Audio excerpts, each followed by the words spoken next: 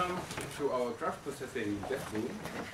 As there's an still uprising interest in graph processing and graph databases, we thought um, to organize this dev room to bring together different uh, people with different approaches on graph processing and oh I need to speak louder okay I try to speak a bit louder even if I'm still a bit ill and I hope all other um, talkers will also be loud enough um, this is Pia I cannot speak his first name properly. And I'm Achim.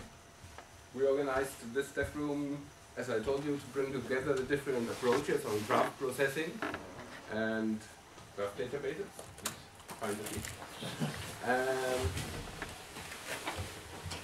we have about uh, 12 talks.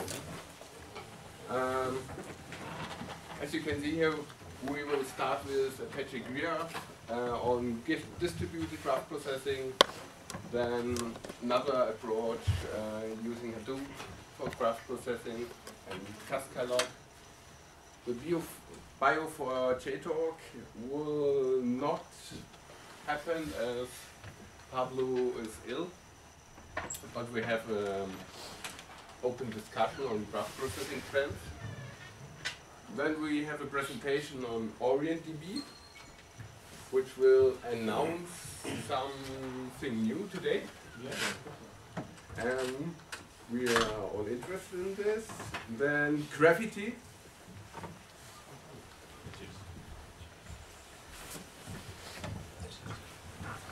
Graphity on a special use case for using uh, Neo4j and graph processing for social networking. Then we have a short break to get some food. And after the break we will go on with Neo4j and the Cypher query language because query language are perhaps still very new to graph databases and graph processing. Um, last year, mostly we had simple CRUD operations, but now we're getting more and more into query languages for graph processing.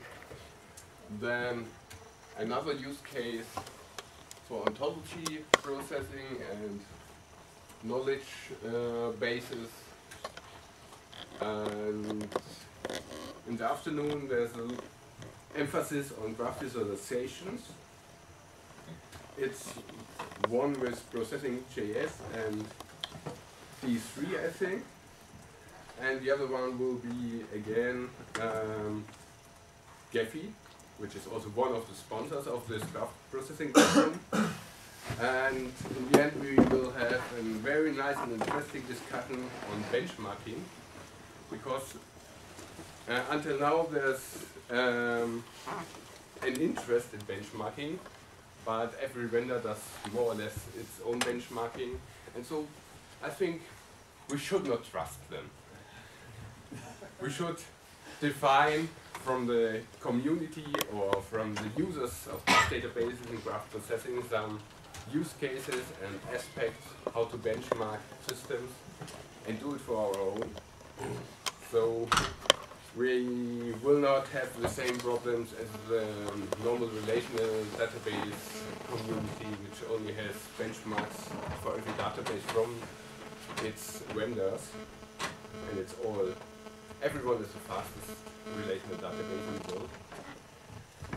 Yeah, um, this will be till the afternoon, perhaps if someone is interested, so we will join for dinner and go on discussing benchmark issues we can mm, meet afterwards and find a proper place for a dinner. Now to our sponsors.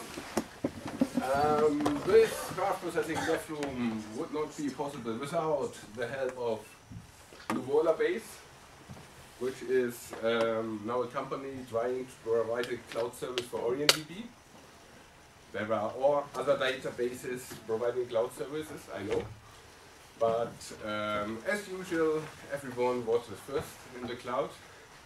Even my earlier employee Sones thought he was the first, and Neo4j thinks they are the first, OpenDB thinks they are the first, so everyone is the first in the cloud. Then the graph uh, visualization people from Gephi, and last but not least, uh, we are here, PRND, because of Electric.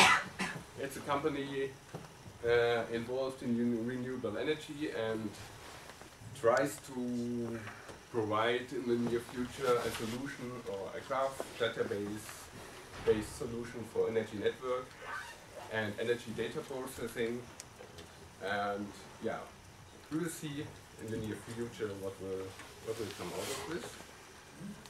So then a bit early but I will give over to the first speaker. It's from Apache Giraph